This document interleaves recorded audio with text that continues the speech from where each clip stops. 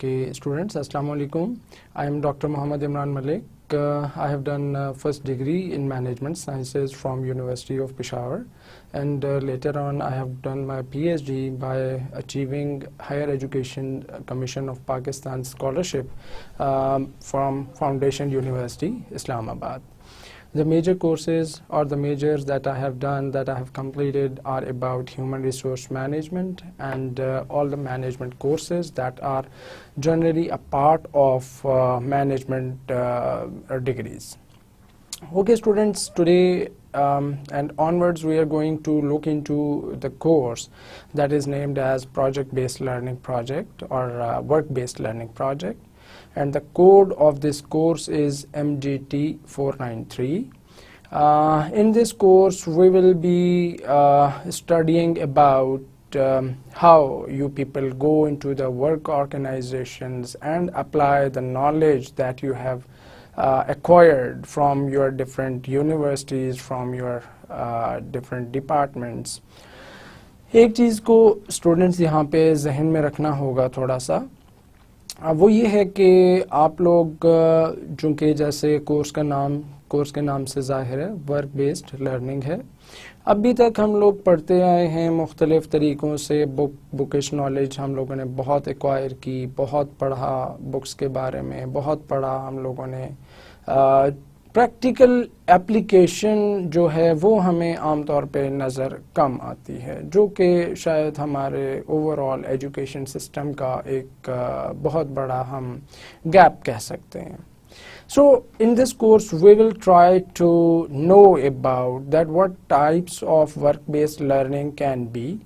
and what can be the benefits of this work life work based learning and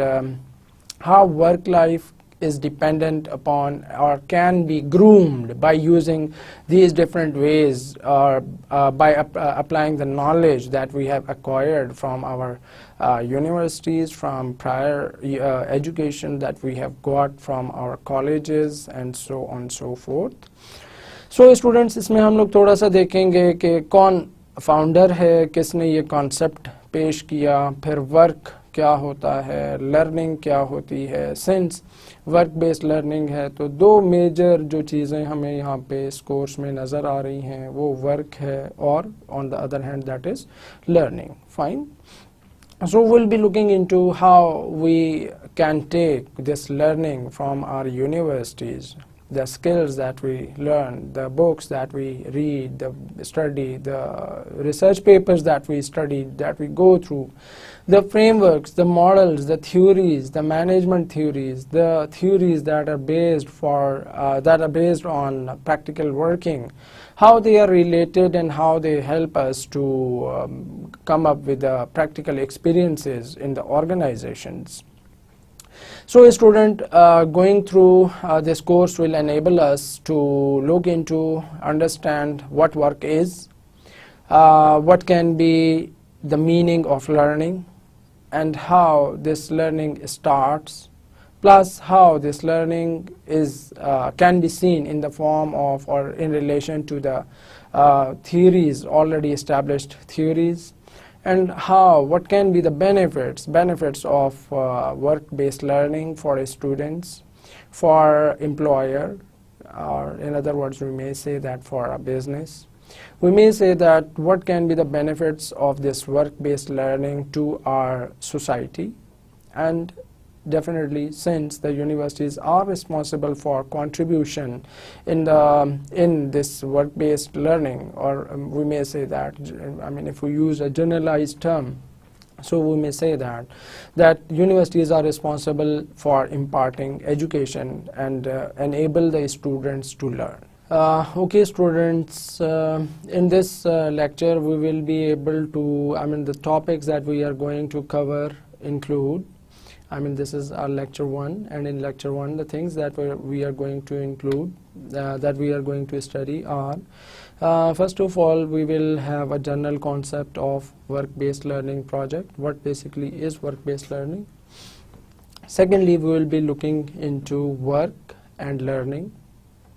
then we will be looking into how learning basically starts for a human being for an individual.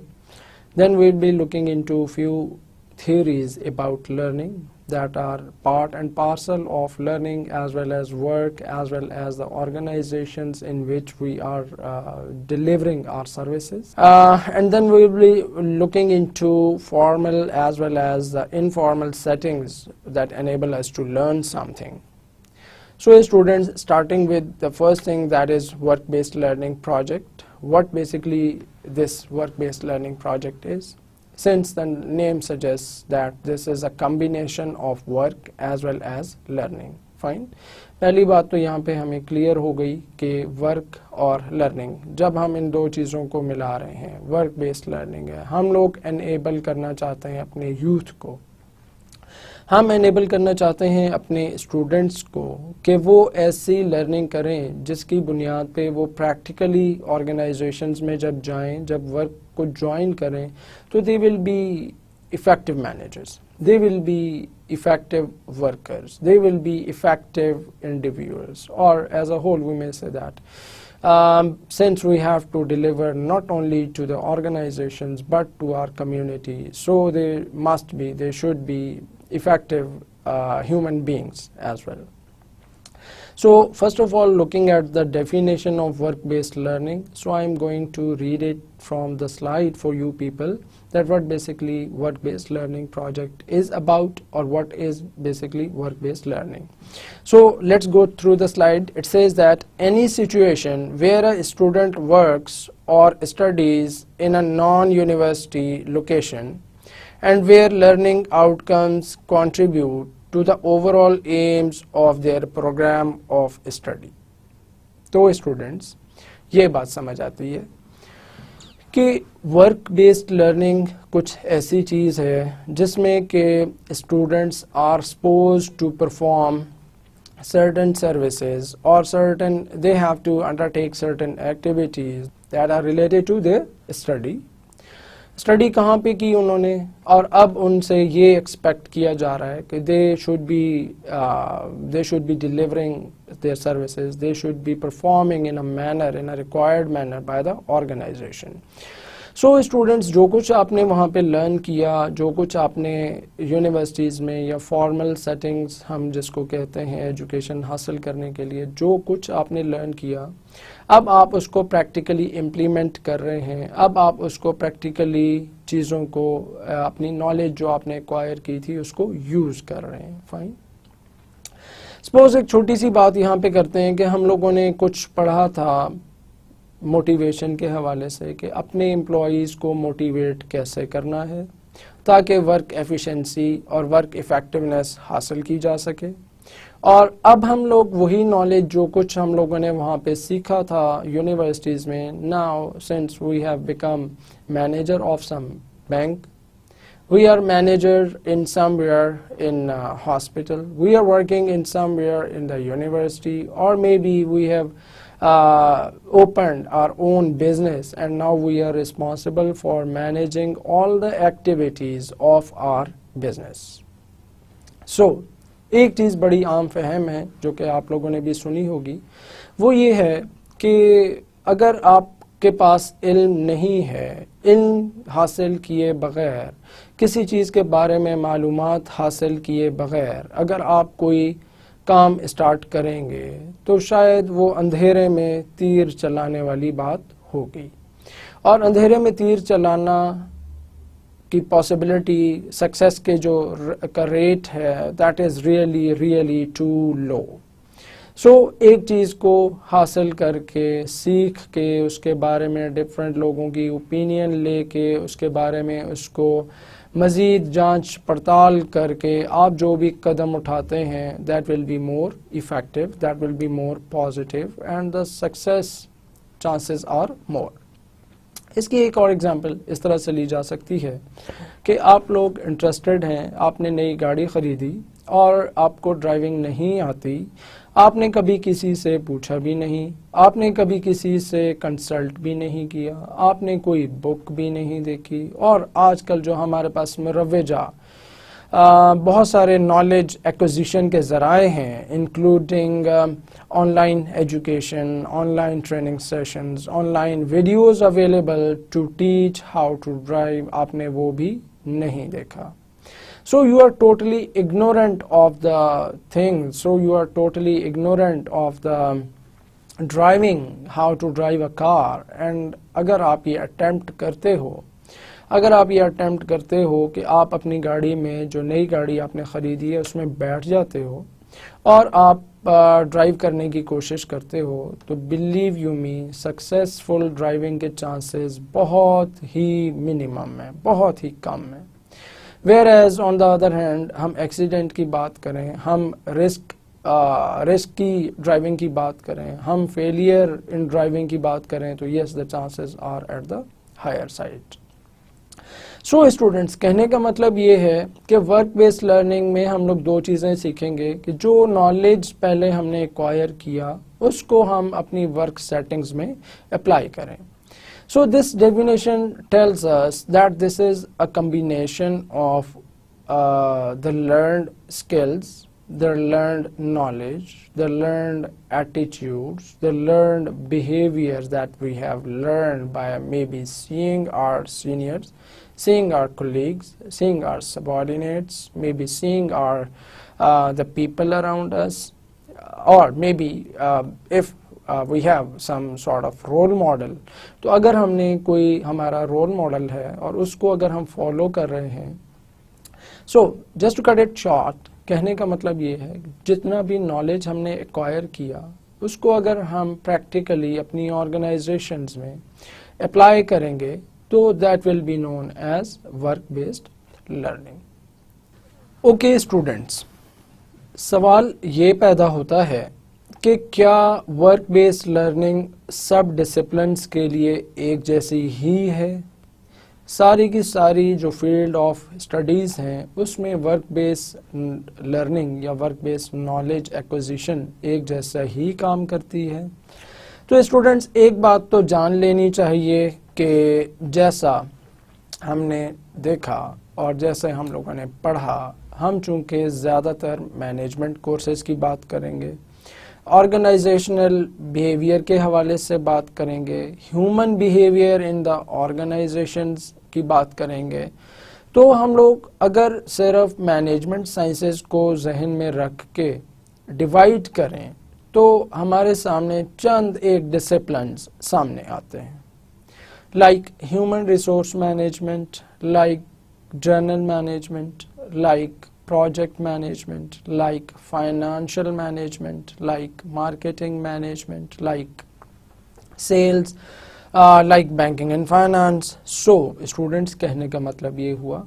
कि अगर हम लोग इसको ये कहें कि work based journal की कोई जर्नल एक बड़ी कोई डेफिनेशन हमारे पास अवेलेबल है शायद ये पॉसिबल नहीं होगा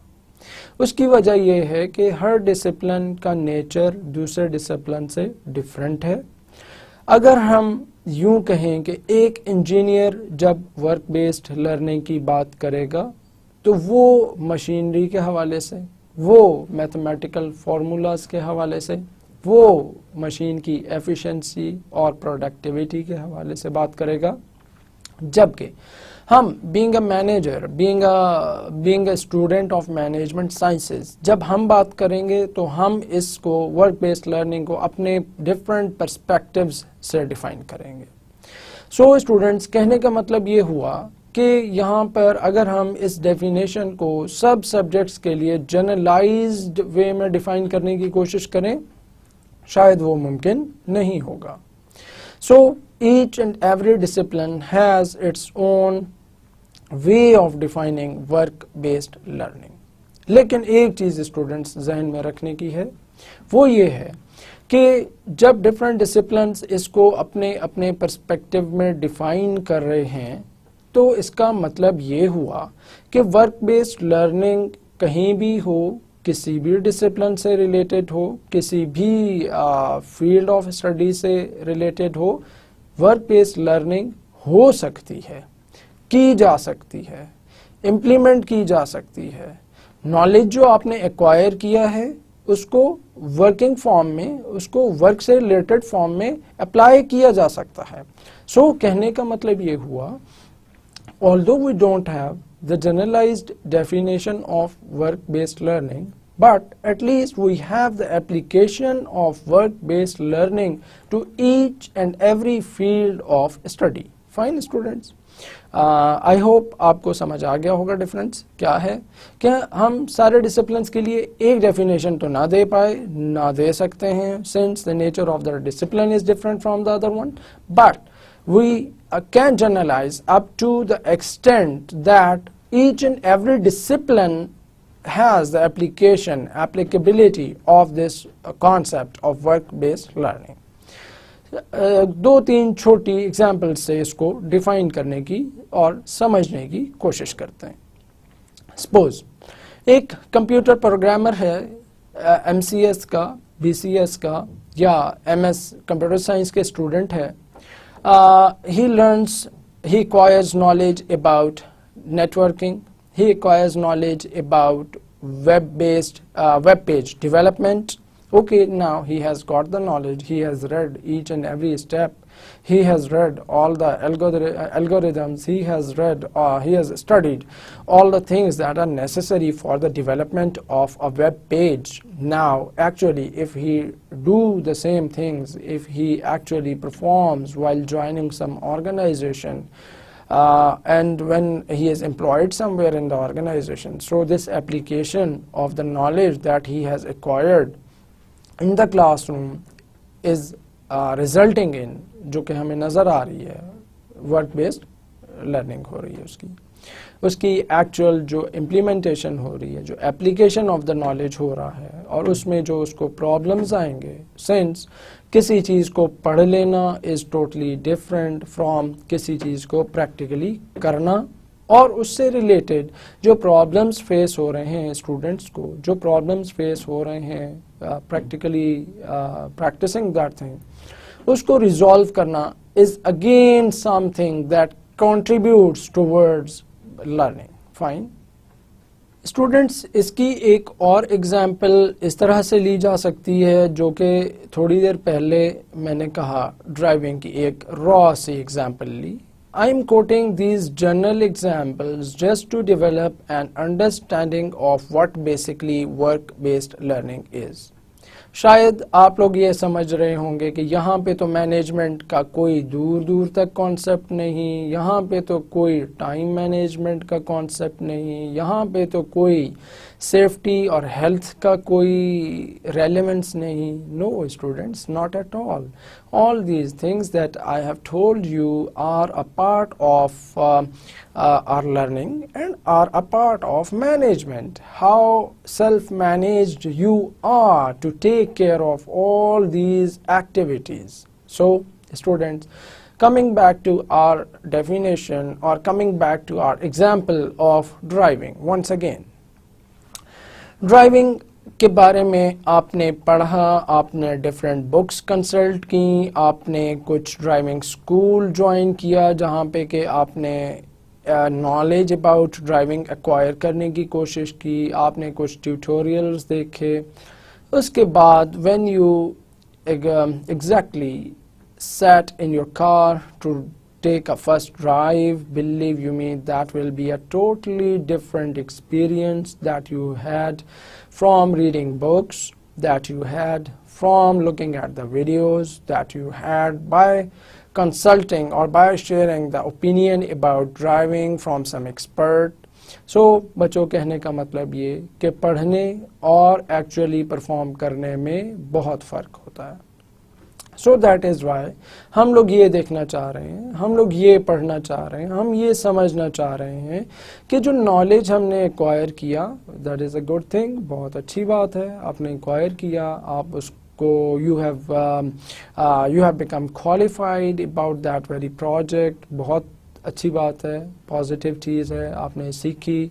लेकिन जब तक आप उस नॉलेज को अप्लाई नहीं करेंगे, जब तक इम्प्लीमेंटेशन नहीं होगी तो शायद उस वक़्त तक उस नॉलेज को हम इफ़ेक्टिव नॉलेज नहीं कह सकते।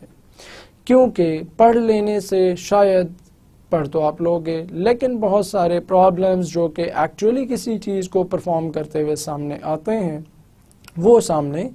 नहीं आएँगे। आपने किताब से पढ़ लिया, आपने इंटरनेट की कोई वेबसाइट से पढ़ लिया, आपने कोई वीडियो देख ली, लर्निंग तो हो गई, कुछ ना कुछ तो एक्वायर कर लिया।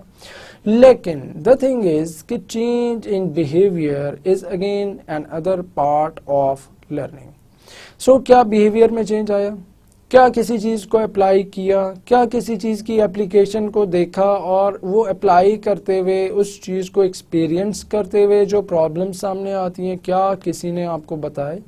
नहीं, ऐसा नहीं हुआ। जब तक आप बुक तक महदूद हैं, जब तक आप किसी वेबसाइट या फॉर दैट मैटर आजकल ई बुक्स अवेलेबल हैं ई बुक्स तक आप महदूद हैं तो आपके पास जो बेसिक नॉलेज है, ठीक है, वो तो आ जाएगा बट जो आपके पास प्रैक्टिकल साइड ऑफ़ नॉलेज है you will be totally ignorant of that thing fine एक और चीज़ है स्टूडेंट यहाँ पे देखने की, वो ये है कि ऑल दो ठीक है, आपने किताबों से पढ़ा, आपने डिफरेंट रिसर्च पेपर्स पढ़े, आपने जो भी secondary sources of information available थी, सारी की सारी आपने कंसल्ट की वेल डन वेरी गुड बहुत अच्छा किया आपने। But Um, besides doing this, you have consulted a person who was actually involved in driving, who was a driver for the last two, three years, or maybe more than two, three years. तो क्या हुआ students हुआ ये कि आपने opinion तो उससे ले लिया और उसने आपको ये बता भी दिया कि ड्राइविंग करते वक्त फलानी फलानी प्रॉब्लम आ सकती है अच्छा किसी एक स्पेसिफिक प्रॉब्लम को कैसे ओवरकम करना है, वो भी उसने बता दिया। ठीक है? सपोज़ अगर सामने कोई चीज़ आ जाए तो आपने ब्रेक लगानी है। फाइन गुड बड़ी अच्छी एग्जांपल है, बड़ी अच्छी बात आपको पता चल गई। लेकिन स्टूडेंट्स जब आप प्रैक्टिकली खुद गाड़ी ड्राइव कर रहे थे, जब आप खुद अपनी गाड़ी में बैठे और ड्राइव के लिए बाहर निकले और सामने कोई चीज़ आई you didn't know at that time कि किस इंटेंसिटी से ब्रेक लगानी है। हार्ड ब्रेक लगानी है नॉर्मल ब्रेक लगानी है सॉफ्ट यूज़ करना है ब्रेक का कैसे करना है, किन सिचुएशंस में किस किस्म का कितना प्रेशर ब्रेक को अप्लाई करना है। So students I think now you have got an idea about what work based learning tells us fine so so, कहने का मतलब ये कि जो आपने नॉलेज एक्वायर किया उसको प्रैक्टिकली इम्प्लीमेंट करना इज़ समथिंग एल्स स्टूडेंट्स जो चीज़ें हम लोग मैनेजमेंट uh, में या किसी ऑर्गेनाइजेशन की फंक्शनिंग में ऑपरेशंस में अप्लाई करते हैं uh, बहुत सारी स्किल्स हैं जो कि आने वाले वक्त में आने वाले लेक्चर्स में हम लोग डिस्कस करेंगे। how to manage time how to manage the resources फिर रिसोर्सेज की जब बात करेंगे तो फाइनेंशियल रिसोर्सेज जब रिसोर्सेज की बात करेंगे तो ह्यूमन रिसोर्सेज की बात करेंगे how to make decisions in different point in time in different scenarios in different situations how to overcome the conflicts that are arising within the organization and so on so forth हम ये चीज़ें books में बहुत अच्छे तरीके से पढ़ते हैं, लेकिन जब प्रैक्टिकली हम उस सिचुएशन में होते हैं तो या तो ये होता है कि हम वो नॉलेज जो हमने एक्वायर किया होता है भूल चुके होते हैं, या फिर ये होता है कि हम लोग शायद उस वक़्त रिकॉल नहीं कर पाते या पढ़ा ही नहीं होता। फाइन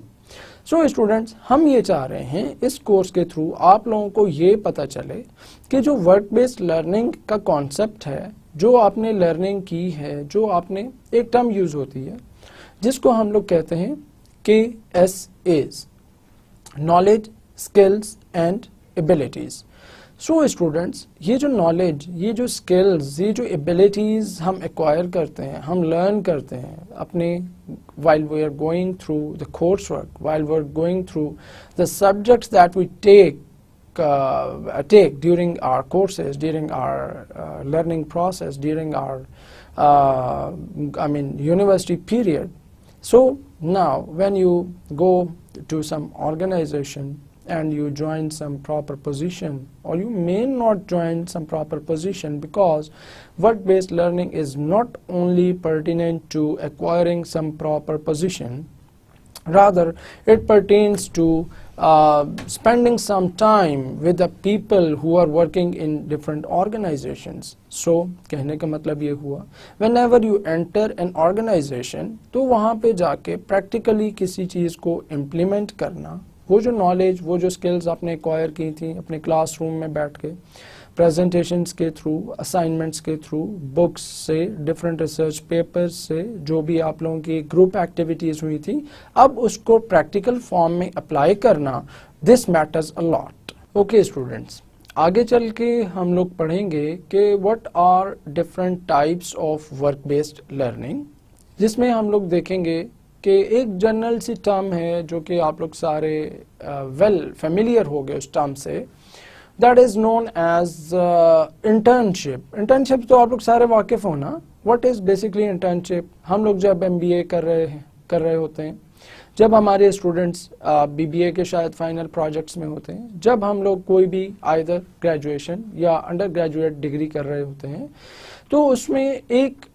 रिक्वायरमेंट होती है डिग्री कंप्लीशन के लिए जिसको इंटर्नशिप का नाम दिया जाता है। देखो अगर देखा जाए तो internship is not full time employment full time employment तो नहीं है। आप वहाँ पे जाके कुल ज़्यादा लंबे अरसे के लिए तो काम नहीं करते। But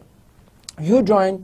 the organization for a certain period of time. You join that organization for a shorter period of time. कहीं रिक्वायरमेंट होती है चार हफ्तों की, कहीं maximum up to maximum I mean of two months that is eight weeks ऐसा ही होता है। लेकिन जब हम ऑर्गेनाइजेशन में जाते हैं फॉर एट वीक्स में भी तो वहाँ पे हम लोगों को बहुत सारी चीज़ें मैनेज करना, बहुत सारी फंक्शनिंग जो कि ऑर्गेनाइजेशन में ऑलरेडी परफॉर्म हो रही होती है, जो कि लोग काम कर रहे होते हैं, वहाँ पे जाके हम लोगों को कुछ चीज़ें करना पड़ती हैं। और उन चीज़ों के करने के लिए अगर हमारे पास प्रायर नॉलेज नहीं होता फॉर दैट मैटर तो हमारे लिए उस काम को करना बहुत ही डिफ़िकल्ट हो जाता है। ऐसा ही है। अगर हम on the other hand if we look at कि we have learn something about opening and account the procedure to open and account in our box and we went to the bank और one of the branches of the bank for internship so we try to relate that knowledge that we have acquired in the form of maybe tutorial or in the form of teacher has told us that so and so book has got this um, account opening procedure. You have learned there and now you want to see actually what organizations are using. The steps that are involved in opening an account that may be filling a form that may be about filling in some basic information about you that may be something about the contact details that may be something about your identification so when you provide when you fill all this uh, application and you and the required amount so i mean these steps involved contribute toward effective learning otherwise क्या होगा आपको नहीं पता कि क्या steps involve हैं आप किसी से पूछेंगे आपके पास कस्टमर आपके सामने बैठा है और आप किसी और के पास पूछने जा रहे हैं हर छोटी छोटी बात के बारे में तो बड़ा अनकंफर्टेबल फील करता है कस्टमर बड़ा एक अनकंफर्टेबल इन्वायरमेंट क्रिएट हो जाता है, जो कि आपके कस्टमर को अनॉय कर सकता है, जो कि आपके कस्टमर को डिससेटिस्फाई कर सकता है और एक आप बीइंग एन इंडिविजुअल एक आपकी वजह से, जो कि शायद एम्प्लॉय कस्टमर को नहीं पता कि आप जो हैं, आप as an intern you are working over there and due to lack of knowledge about opening an account आप पूरी ऑर्गेनाइजेशन की जो गुडविल है, आप पूरी ऑर्गेनाइजेशन की जो एक इमेज है, उसको ख़राब करने का बायस बन रहे हैं। तो ऐसा होता है, ऐसा हो सकता है yes of course definitely students ऐसा ही होता है so we encourage we encourage in this course to learn few skills that are pertinent to the practical work environment in the organizations and when you apply effectively all that knowledge that you have acquired uh, in the organization so this is known as work based learning and definitely whenever we uh, apply our knowledge so we come across certain problems we come across certain challenges और उन challenges को rectify करना और उन challenges को overcome करना again uh, results in continuous learning आप लोगों ने एक concept तो पढ़ा होगा जो कि थोड़ा सा इससे हट के तो है लेकिन कुछ इससे relevant भी लगता है जिसको हम लोग कहते हैं आप लोगों ने एक लफ्ज सुना होगा जिसको जापानीज कहते हैं continuous improvement continuous improvement is totally related to continuously acquiring the knowledge. So continuously acquiring the knowledge will enable an organization to develop its employees skills, its employees behavior, its employees level of understanding so कहने का मतलब ये work based learning से जो फ़ायदा हमें होता नज़र आ रहा है, वो ये है कि जब वर्क बेस्ड लर्निंग का कल्चर होगा, जब work based learning environment provide की जाएगी तो उससे बहुत सारी न्यू इनोवेशंस होने के चांसेस हैं। पॉसिबल है कि new ways of doing the work हमारे सामने आ जाए। पॉसिबल है कि whenever we come across certain problem तो हम उसको करने के कुछ मल्टीपल वेज डिवाइस कर पाए, जो कि ना सिर्फ़ हमारे लिए फ़ायदेमंद हो, हमारी लर्निंग हो, बल्कि रहते दम तक जो भी ऑर्गेनाइजेशंस हैं, और सिमिलर टाइप ऑफ़ ऑर्गेनाइजेशंस हैं, उनको भी फ़ायदा हो। एज अ होल आपकी कम्युनिटी को भी फ़ायदा हो। आप चूँकि सोसाइटी का, कम्यूनिटी का एक हिस्सा हैं। सेंस डायरेक्टली दो ग्रुप्स के दरमियान मुझे मजीद बेनिफिट शेयर होता नज़र आ रहा है। That is the employer or for the time being since you are a student and you haven't completed your work and sorry you haven't completed your studies and now you are about to join work or you are actually you have join work fine तो दो जो major stake holders हमें नज़र आ रहे हैं यहाँ पर, वो एक स्टूडेंट्स हैं और on the other hand employer fine तो इन दोनों को अगर आपकी जो एक्वायर्ड स्किल्स हैं, जो आपकी एक्वायर्ड नॉलेज है, उसको इम्प्लीमेंट करने से, उसको अप्लाई करने से और प्रॉब्लम्स फेस करने के बाद coming up with the solutions जब सोल्यूशन आ जाते हैं एम्प्लॉयर को इससे फ़ायदा होता है एम्प्लॉयर उसको इम्प्लीमेंट करता है and ultimately that result in effective functioning proper functioning of the organization so we say that के I mean this is a sword which has two sides which has two sharp sides कहने का मतलब ये all दो स्वाड का meaning तो शायद थोड़ा सा नेगेटिव चला जाएगा बट कहने का मतलब ये है कि इसको यूज़ किया जा सकता है दोनों के फ़ायदे के लिए।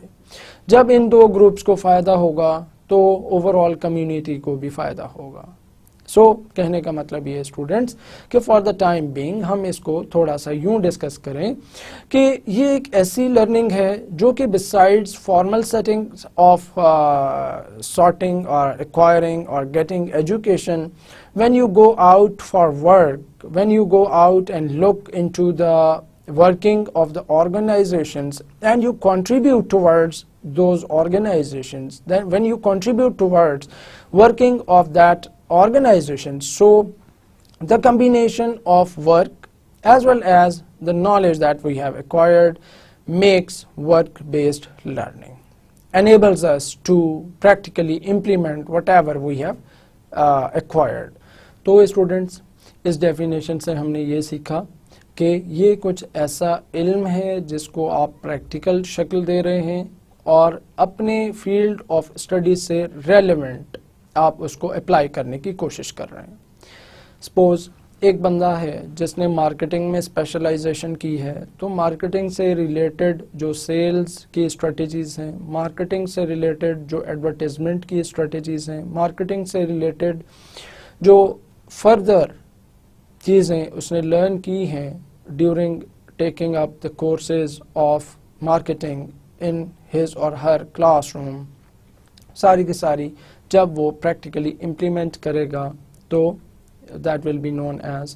relevant information that is used in the workplace so it is known as work based learning fine students इसी तरह से अगर ह्यूमन रिसोर्स मैनेजमेंट की बात करें तो लोगों को मोटिवेट करना, लोगों को सेटिस्फाई करना, लोगों को आजकल एक और term use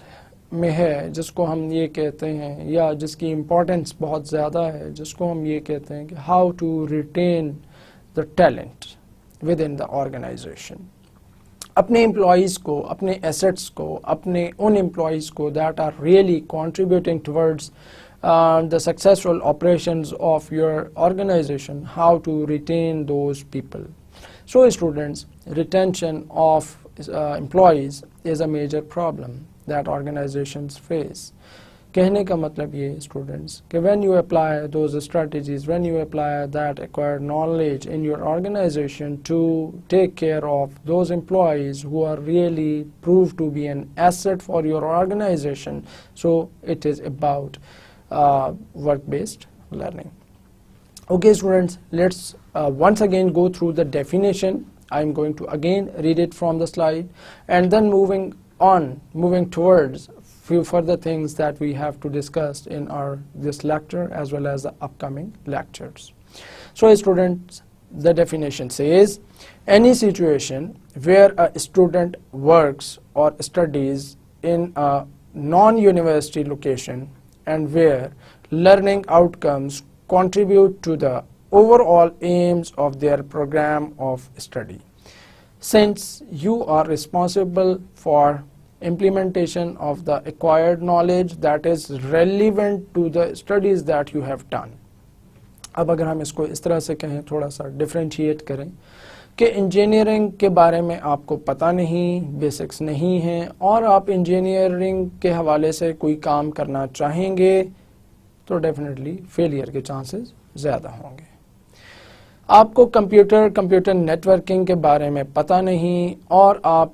trial and error basis पे कुछ करना चाहेंगे। यस देर इज़ पॉसिबिलिटी कि शायद कभी तुक्का लग भी जाए बट तुक्का लगने के chances are really rare so students बेहतर ये है कि जो आपने रेलिवेंट स्टडीज़ की हैं, जो रेलिवेंट स्किल्स डेवलप की हैं, जो रेलिवेंट नॉलेज एक्वायर किया है, उसको रेलिवेंट एरिया ऑफ़ वर्क में इम्प्लीमेंट करें तो सक्सेस के चांसेस ज़्यादा होने के चांसेस हैं। फाइन स्टूडेंट्स uh, यहाँ पे हमें एक चीज़ नज़र आ रही है जिसको हम ये डेफिनेशन uh, को अगर देखें तो हमें ये पता चल रहा है कि students are suppose to work in a non university environment तो इससे ये भी एक कंफ्यूजन पैदा हो सकती है कि क्या हम उसको वर्क बेस्ड लर्निंग नहीं कहते जो कि हम एक्सपेरिमेंट्स की सूरत में किसी लेबॉर्ट्री में करते हैं? जब हम एक्सपेरिमेंट्स की सूरत में Yeah, for that matter, uh, if I talk about uh, management science students, uh, when we solve the cases, when we solve the problems of different organizations that we read in a form of a problem or a case study in our classrooms, well, it can be a way of acquiring those skills it can be way of doing the things in a limited or controlled environment fine ठीक है हम university में जब होते हैं different experiments हमसे अपने teachers हमारे करवाते हैं we are really grateful to our all teachers who encourage us to take up the case studies, to take up the problems existing in different organizations and try to solve it in the classroom settings. Well, but the thing is कि वहाँ पे practical scenario नहीं होता। वहाँ पे time शायद उतना contribute या कंट्रीब्यूट नहीं करता, जितना कि किसी प्रैक्टिकल सिचुएशन में। सपोज़ फॉर एग्जांपल इसकी एक छोटी सी एग्जांपल लेते हैं। आपने एक इवेंट मैनेजमेंट का कोर्स लिया। इवेंट मैनेजमेंट में आपने बहुत सारी स्ट्रेटजीज पढ़ी, बहुत सारी थियरीज पढ़ी, बहुत सारे कॉन्सेप्ट्स लर्न किए। फाइन तो अब देखें, एक छोटी सी बात करते हैं, आम सी बात करते हैं, अपनी डेली लाइफ से एग्ज़ाम्पल लेने की कोशिश करते हैं और फिर इस बात को समझने की कोशिश करते हैं कि why it is necessary for work based learning to go for go to some non university settings non university setting से मुराद ये है बच्चों कि जहाँ तक यूनिवर्सिटी का ताल्लुक है, जहाँ तक इवेंट मैनेजमेंट की केस स्टडीज़ हमने सॉल्व की, बहुत सारी चीज़ें लर्न की, किस सिचुएशन में क्या स्ट्रेटेजी इम्प्लीमेंट की जा सकती है no doubt we have learn a lot but देखें जी बच्चों आपके घरों में, हमारे घरों में, हमारी सोसाइटी में, हमारे मोहल्ले में, शादी का एक इवेंट होना होता है, ठीक है, या फॉर दैट मैटर अल्लाह ना करे कभी although death भी since it is a part of part and parcel of human life. तो कभी डेथ का हम लोगों को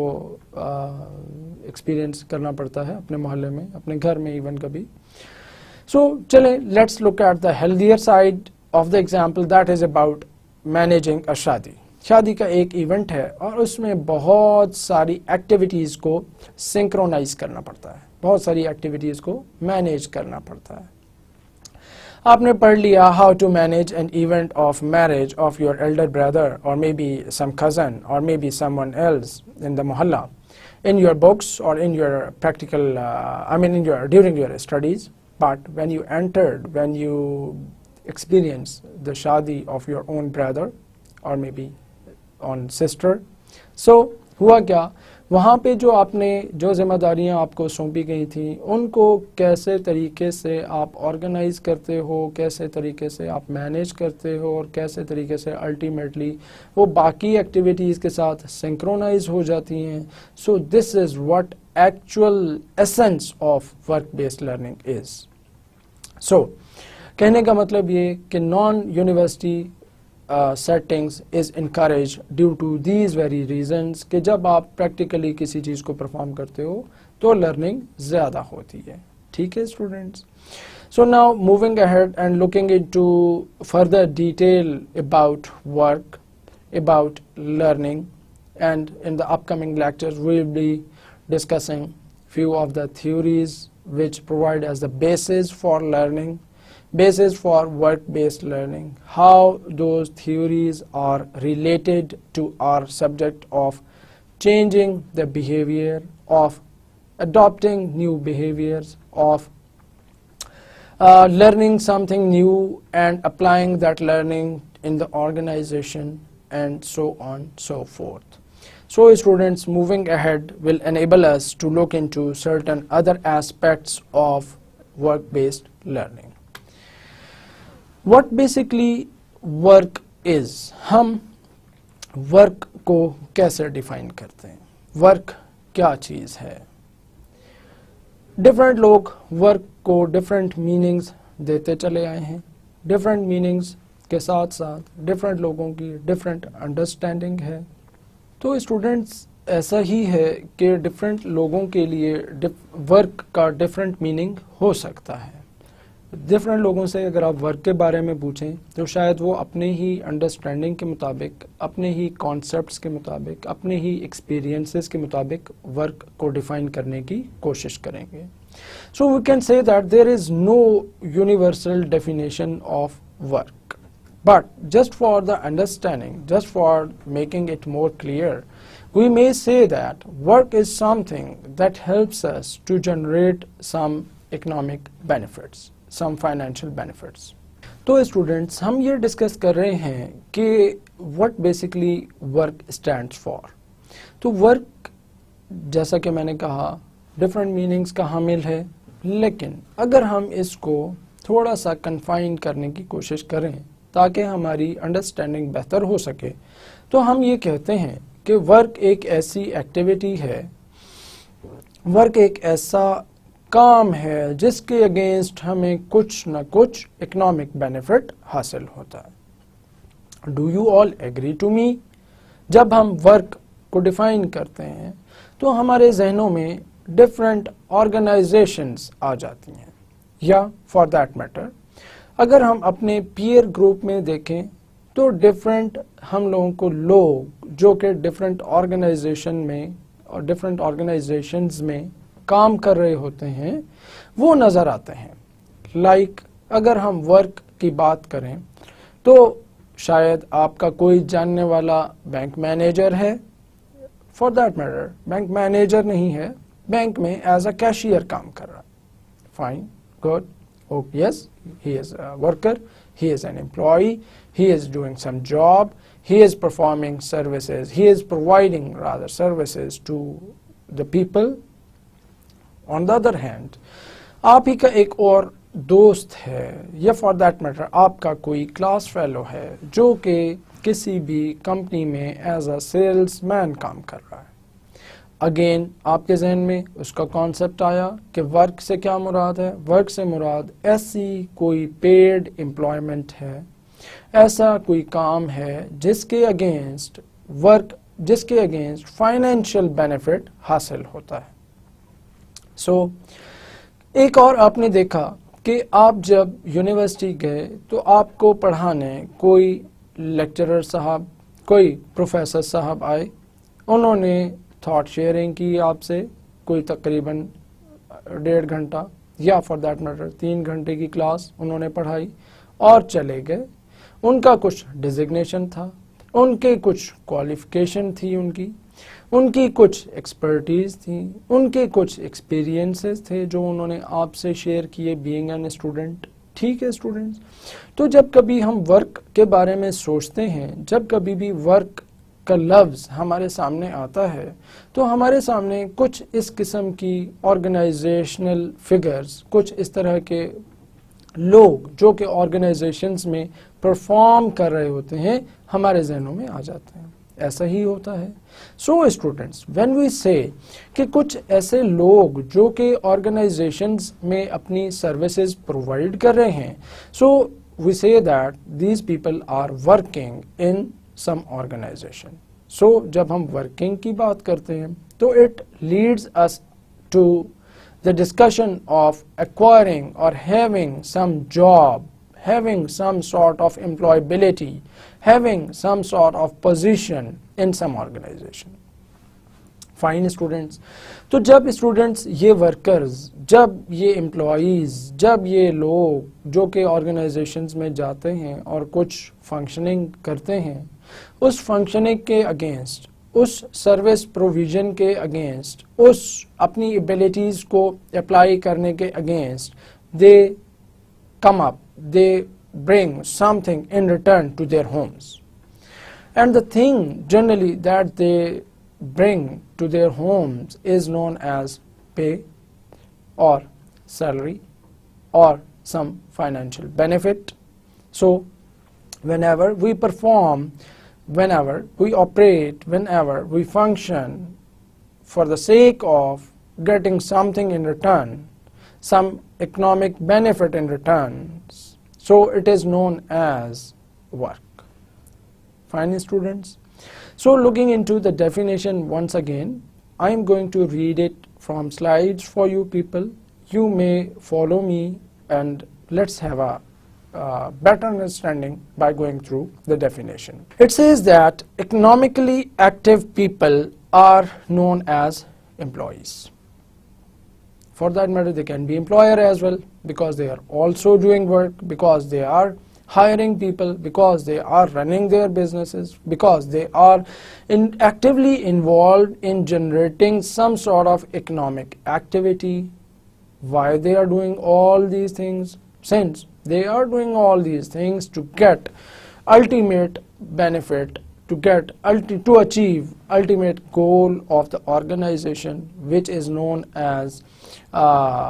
general terms में अगर हम बात करें तो वो लोग क्यों मेहनत कर रहे होते हैं वो क्यों अपनी एबिलिटीज़ अपनी खून पसीना वो लगा रहे होते हैं इन्वेस्ट कर रहे होते हैं to acquire organizational success to achieve organizational success and when we say to achieve organizational success generally we mean to increase the profits of any organization, to contribute the financial, in terms of financial resources to the organization fine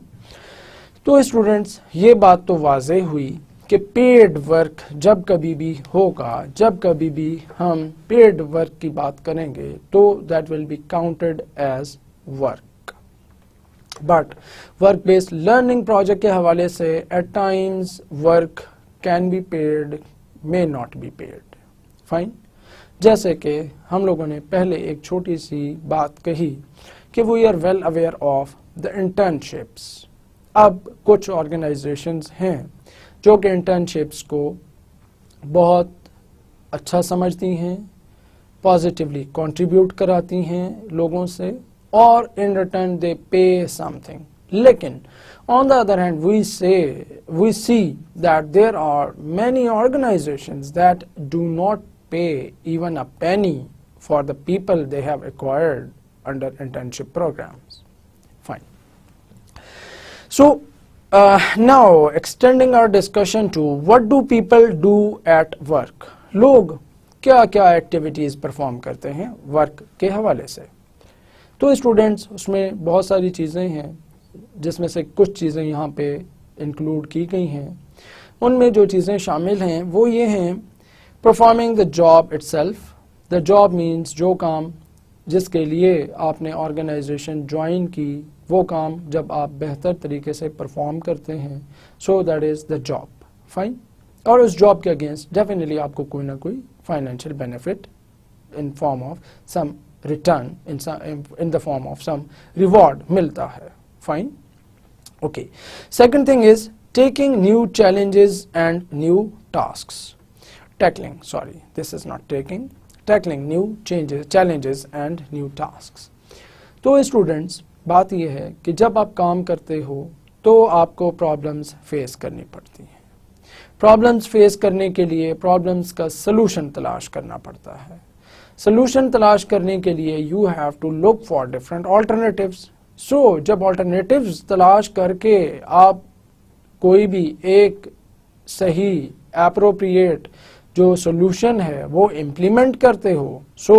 that enables you to learn more fine the third thing not really the last but i mean few of the things i have uh, already told you that these are few of the things. Reflecting on their own experiences etc जो आपके पहले के experiences हैं और जो अब experiences आप face कर रहे हो, इन दोनों को मैच और मिसमैच करना, उन दोनों को आपस में कंट्रास्ट एंड कंपेयर करना और अपने ओपिनियंस को, अपने न्यू एक्सपीरियंस को रिफ्लेक्ट करना न्यू एक्सपीरियंसेस को लोगों के साथ शेयर करना न्यू एक्सपीरियंसेस को उस प्रॉब्लम से रेलेवेंट इम्प्लीमेंट करना is all about work so students हम लोगों ने इस लेक्चर में क्या सीखा अभी तक? हम लोगों ने दो बातों को पढ़ा अभी तक। पहली बात तो ये कि what basically is work based learning work based learning की एक डेफिनेशन देखी। उसकी नेचर को समझने की कोशिश की डिफरेंट परस्पेक्टिव से। उसकी नेचर को समझने की कोशिश की by sharing few of the examples from our daily lifes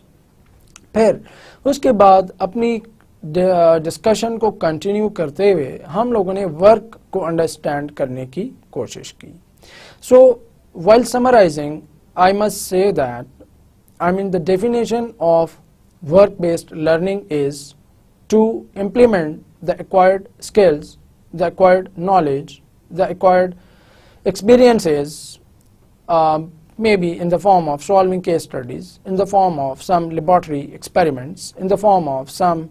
uh, assignments that have been given to us during our coursework. And when we apply those KSAs while go going and working into the organizations so that is known as work-based learning. And what work stands for? Work is basically any activity performed in relation to, in uh, for for acquiring, for getting something in return, and that is definitely the financial benefit, or we say that any economic activity so it is known as work.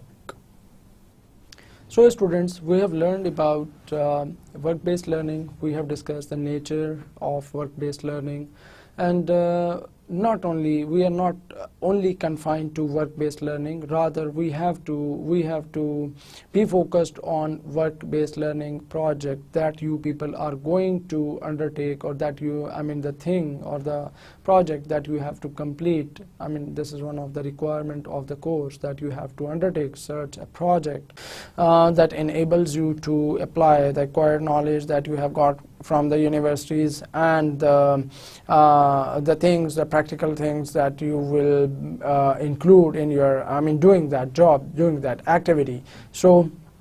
कहने का मतलब ये कि students आप लोगों को इनशाला इस कोर्स से जो कुछ आप लर्न करोगे, उसमें आप लोगों को ऐसी स्किल्स ऐसी बातें। एक तो ये बताया जाएगा कि कौन कौन से वर्क बेस्ड लर्निंग प्रोजेक्ट्स हो सकते हैं, उनके टाइप्स क्या हो सकती हैं वर्क बेस्ड लर्निंग का फ़ायदा स्टूडेंट्स को क्या हो सकता है वर्क बेस्ड लर्निंग का फ़ायदा। एम्प्लॉयर uh, को क्या हो सकता है? वर्क बेस्ड लर्निंग का फ़ायदा ऑर्गेनाइजेशंस को और okay fine for that matter organisations या हम एम्प्लॉयर जब कहते हैं तो that is one and the same thing work based learning का फ़ायदा यूनिवर्सिटीज़ को क्या हो सकता है? Okay students do you think कि वर्क बेस्ड लर्निंग का फ़ायदा यूनिवर्सिटीज़ को भी हो सकता है? ओ यस यू राइट कि यूनिवर्सिटीज़ को भी वर्क बेस्ड लर्निंग का फ़ायदा हो सकता है। क्या क्या फ़ायदे होते हैं, कैसे होते हैं, वो हम लोग आने वाले लेक्चर्स में इन ताला कवर करेंगे। उसके बाद हम लोग ये देखेंगे कि अगर वर्क बेस्ड लर्निंग ही को इम्प्लीमेंट किया जाए, ही को इनक्रेज किया जाए वर्क बेस्ड लर्निंग ही को अपने कैरिकुलम का हिस्सा बना लिया जाए तो उससे आपको ओवरऑल कम्युनिटी को ओवरऑल सोसाइटी को भी बहुत सारे फ़वाद हासिल हो सकते हैं। फाइन आजकल हम बात करते हैं ग्लोबलाइज्ड बिजनेसेस की ग्लोबलाइज्ड फंक्शनिंग की ग्लोबलाइज्ड वर्किंग की। आजकल बात होती है इंटरनेट बेस्ड वर्किंग की। So I mean yes one should acquire that much skills one should have that much knowledge that he or she may be able to perform anywhere in the world fine या for that matter हम जब ये बात करते हैं तो he or she may be able to or I mean the universities must enable their students to work under different circumstances, crisis. हम जिस मुल्क से ताल्लुक़ रखते हैं वहाँ पे अनफॉर्चुनेटली बहुत सारे चेंजिंग सिनेरियोज का सामना करना पड़ता है so, स्टूडेंट्स हम लोग इस कोर्स में ये कोशिश करेंगे कि डिफरेंट सिनेरियोज को डिस्कस करें डिफरेंट जो टाइप्स ऑफ वर्किंग है या वर्क बेस्ड लर्निंग है उसको डिस्कस करें